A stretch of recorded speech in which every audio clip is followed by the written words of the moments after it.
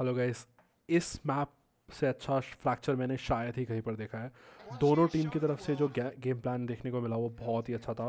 Um, अगर हम बात करें फनाटिक की मैं पहले मेंशन कर देता हूँ उनका एक डिफ़ॉल्ट रहता है यूजुअली फोर वन डिफ़ॉल्ट करते हैं चार एक साइड पर एक एक साइड पर हम बाय राउंड की बात कर रहे हैं।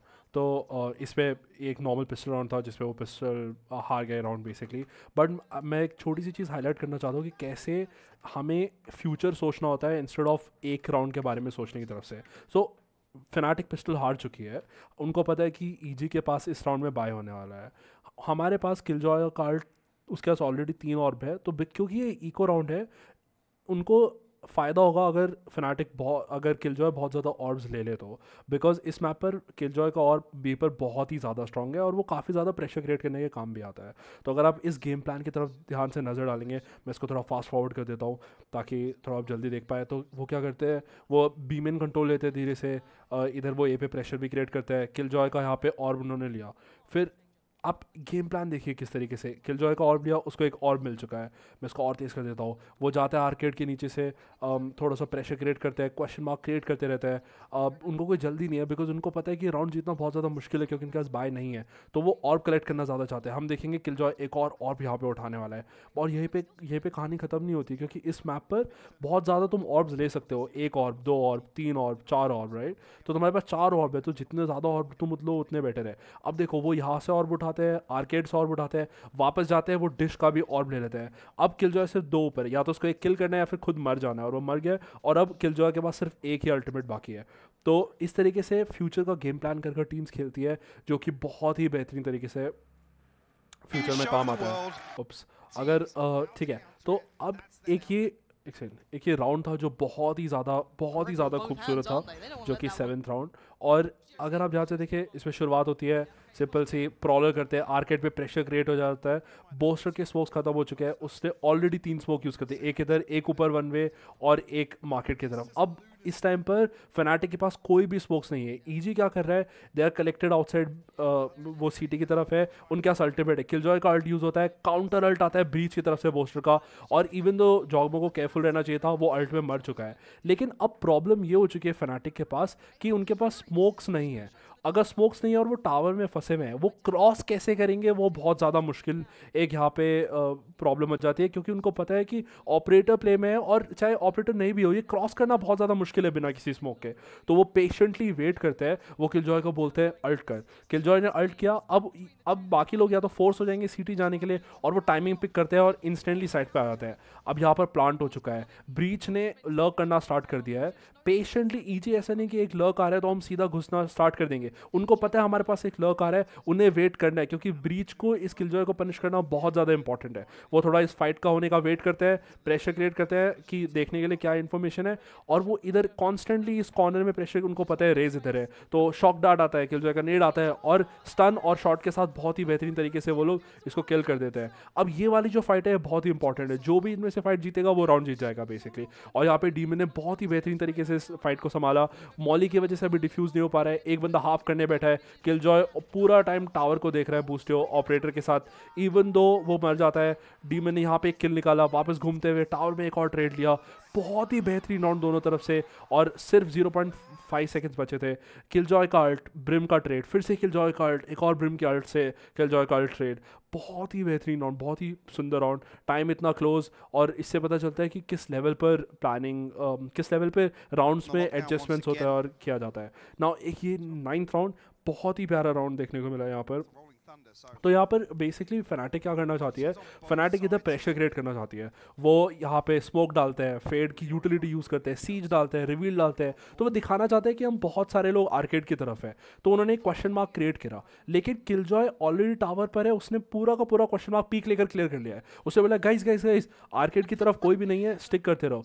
तीनों के तीन लोग एक ही तरफ़ होल्ड कर रहे होते हैं। सोवा वहाँ से डिश देख रहा है और दोनों ने एग्रो एम इन कंट्रोल लेके रखा हुआ है। जैसी उनको यूटिलिटी आती है, वो लोग यहाँ पे डीले के लिए खेलते हैं। हमें एक स्टन देखने को मिलेगा। रेज नेड आता है, सोवा का शॉक डार्ट भी आता है। बहुत ज़्यादा डीले साथ में ब्रीच आफ्टर शॉक भी कर देता है। वो फेनाटिक को इतनी आसानी से एंटर नहीं करने दे रहे हैं और उनको यूटिलिटी यूज़ करने में मजबूर कर रहे हैं। अब देखो फेनाट अब फेनाटिक के पास यूटिलिटी बहुत ही कम बची है चौक पॉइंट से बाहर निकलने के लिए। क्योंकि उनको पता है आर्केड पहले यहाँ पर था, अब आर्केड में फेड था, वो यहाँ पे आ चुका है। है, वो चाहते हैं कि एक बंदा डिश रहे और डेडिकेटेडली इसको सेव करे ताकि उनको उधर से प्रॉब्लम ना हो सके। यहाँ पर मैं बहुत ही एक ब्यूटीफुल चीज़ आपको दिखाने वाला हूँ। फेनाटिक स्मोक कर देता है टावर पर एंड सिटी के ऊपर।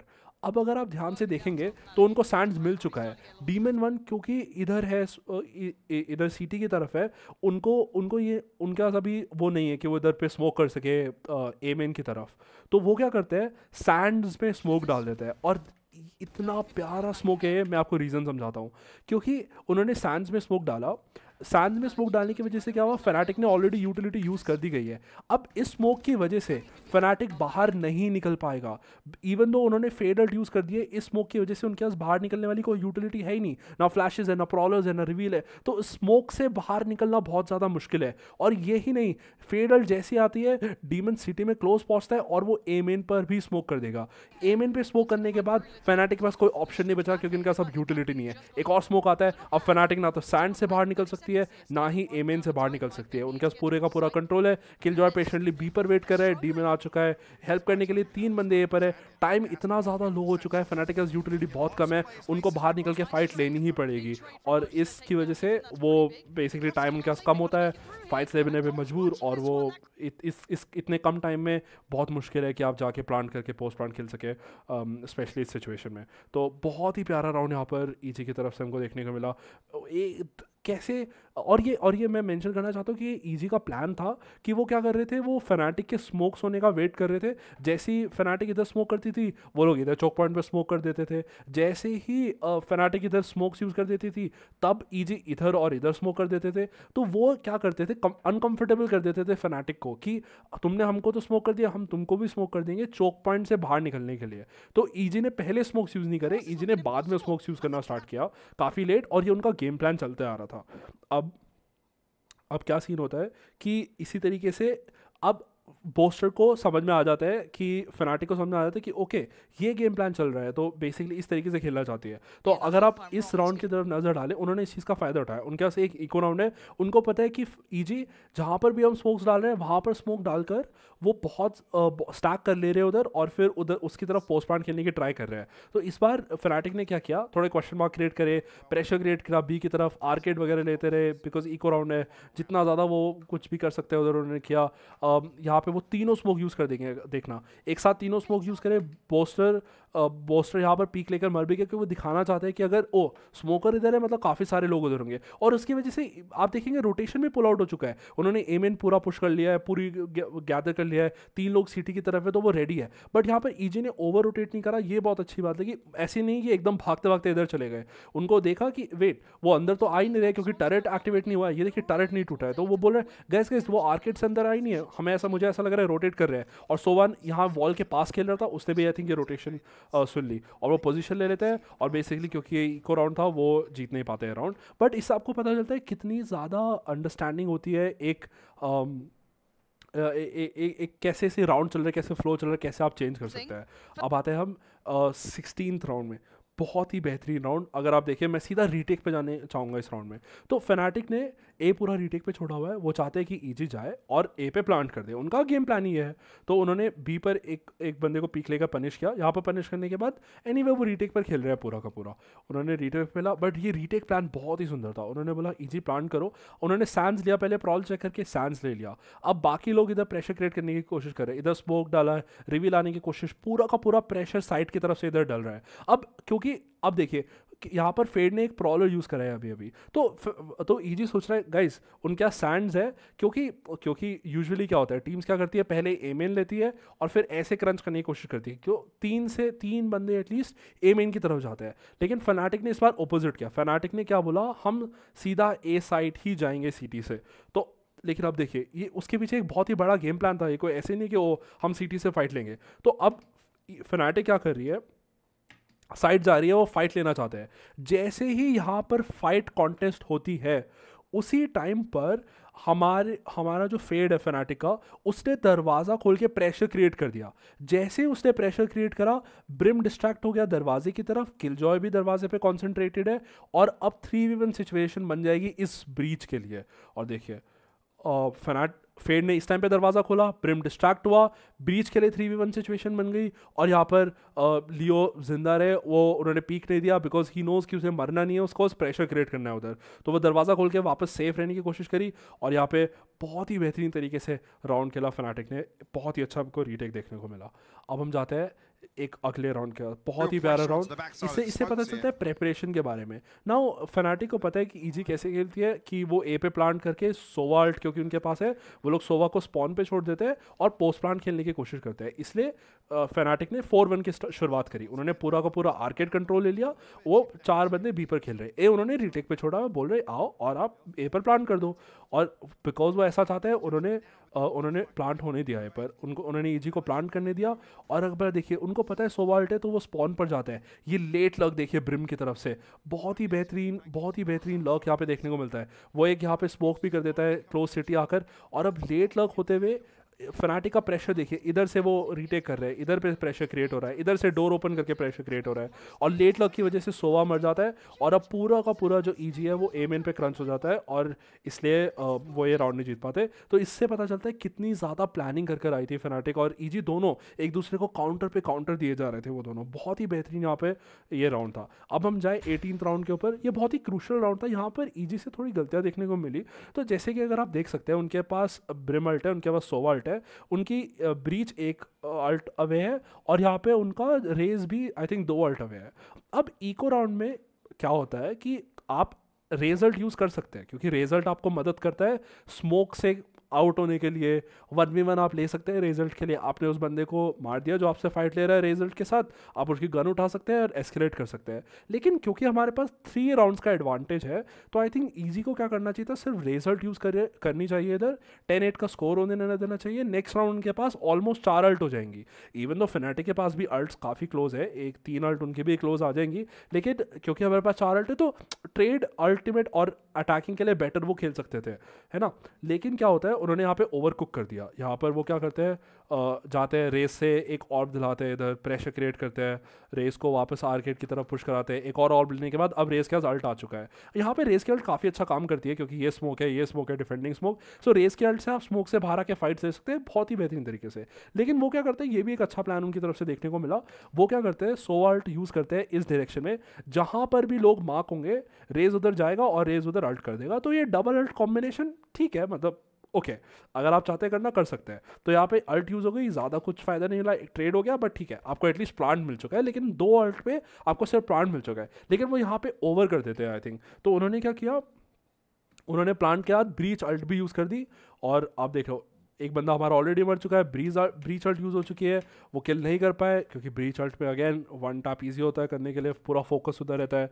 And it's just basically overcook हो चुका है इसको किसी तरह वो टू वी टू सिचुएशन में ले आता है। यहाँ पे वो ब्रिमल्ट भी यूज़ हो चुकी है इवन दो वो एक बंदे को मार देते हैं ब्रिमल्ट यूज़ करके लेकिन क्योंकि उनके पास गन बेकार है वो राउंड नहीं जीत पाएँगे।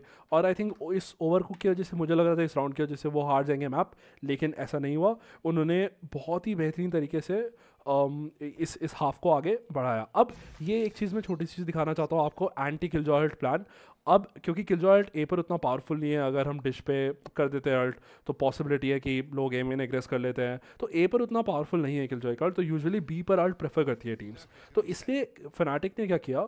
ए पूरा रीटेक पर छोड़ा हुआ उन्होंने पूरा का पूरा आर्केड ले लिया। किलजॉय का सेटअप ए पर पूरा आर्केड लेने के बाद वो चाहते हैं कि उसको पनिश करे, जो कि किलजॉय अल्ट करने आता है। अब देखिए पूरा प्रॉलर करके वो पूरा चेक कर रहे हैं। ब्रिम ये होल्ड कर रहा है ताकि अगर ब्रिम को कोई स्पॉट हो, ये लोग पूरा आर्केड लेके पहले उसको मार सके और फिर अंदर आकर किल तोड़ सके। अब देखिए ब्रीच स्टन पकड़ कर रेडी है अपना। ब्रीच स्टन पकड़ कर रेडी है। जैसे किल जॉल्ट होगा, ये लोग क्लोज जाएँगे ब्रीच अल्ट करे ब्रीच स्टन करेगा और वो लोग किल तोड़ने में कामयाब होंगे। तो ब्रीच का स्टन आया। वो क्लोज अप कर रहे हैं, देखिए। किल जॉल्ट हो चुका है। ब्रीच का बहुत ही बेहतरीन स्टन आया। वो लोग खिल किलजॉय का अल्ट तोड़ देते हैं। आफ्टर शॉक भी आया उधर प्रेशर क्रिएट करने के बिकॉज़ वो नहीं चाहते कि um, कोई भी पनिश करने के लिए रेडी हो। अब वो फोर्स करते हैं ईजी uh, को कि वो बी साइड पर आ सके। और यहाँ पर फनाटिक एक बेसिकली स्पेस ट्रेड कर रही है। उन्होंने किलजॉय थोड़ा मजबूर किया किलजॉय को अंदर आने के लिए और फनाटिक ने आर्केड से स्पेस उठाना स्टार्ट कर दिया। एल्फार एक कोने में नॉट गेट चेक बहुत ही बेहतरीन टाइमिंग में पीक लेने के बाद उन्होंने दोनों किल्स लिए। तो एक एक एंटी किलजॉय प्लान था। इससे पता चलता है कि टीम्स वो सिर्फ़ ये नहीं सोचते कि, ओ, मेरा गेम प्लान कैसा है? वो ये भी देखते हो कि सामने वाले के पास क्या अल्टीमेट्स है, हम कैसे उसको काउंटर कर सकते हैं और हर एक छोटी से छोटी चीज़ के लिए टीम्स प्लान बना कर आती है। अब आपको याद है हमने अभी डिस्कस किया कि जब ईजी के पास सोवाल्ट होता है तो वो क्या करते हैं? वो ए पर प्लांट करते हैं सोवा को स्पॉन पे छोड़ देते हैं वो पोस्ट प्लांट खेलते हैं बाकी लोगों का काम होता है डीले करना। इस बार भी वही होता है। ईजी फनाटिक बोलती है गाय तुम चाहो तो ए पे प्लांट कर दो हम ए को पूरा रीटेक पे छोड़ने वाले हैं। पूरा आर्केड लेते हैं एक बंदे को पनिश करते हैं। अब ईजी को पता है कि यहाँ पर तीन बंदे स्पॉट हुए तो वो इमीडिएटली रिएक्ट करते हैं ए की तरफ़। वो जाते हैं, सोवा के पास अल्टीमेट है, वो डार्ट करने के बाद पीछे चले जाते हैं स्पॉन पे बैठ जाता है। अब यहाँ पर फ्लैंक तो हो रहा है, लेकिन ये फ्लैंक को फुल क्लियर नहीं करते। इवन दो वो वॉक कर रहे हैं बट यहाँ पे टाइमिंग देखिए कितनी खूबसूरत है। तो फनाटिक यहाँ पे डिश है उनके पास, वो यहाँ से प्रेशर क्रिएट कर सकते हैं। और ये लोग क्रॉस हो चुके हैं और उनको नहीं पता है। अभी तक कोई अंदाज़ा नहीं है कि वो एम एन पर भी है। यहाँ से वो धीरे धीरे प्रेशर क्रिएट करना शुरू करें, क्योंकि क्योंकि पास मैप कंट्रोल बहुत ही ज़्यादा कम है और ये इस पर डिपेंडेंट नहीं हो सकते। उनको एम एन का कुछ पता नहीं है, थोड़ा कन्फ्यूज़ है बिकॉज़ क्राउड की आवाज़ आ रही तो उन्होंने सोचा, ठीक है सिटी ले लेते हैं। सिटी लेने की कोशिश करी, थोड़ा सा ओवर एग्रेशन मेरे लिए बट ठीक है, अभी उनको पता चल चुका है कि एम पर भी लोग हैं और उनको सो का कोई अंदाज़ा नहीं है। इस टाइम पर ईजी के इन दो बंदों को क्या करना है, जो कि ब्रीच और ब्रिम है जितना ज़्यादा टाइम वेस्ट हो सके, उतना ज़्यादा टाइम वेस्ट करना है इस टाइम पर। ईथन एक ईथन बहुत बेहतरीन तरीके से यहाँ पर खेलता है। जी, बहुत ज़्यादा यहाँ पर डीले कर पाते हैं अपने सोवा के लिए एंड ईथन ज़िंदा रहते हैं। बहुत सारे यूटिलिटी उनके ऊपर थ्रो होता है।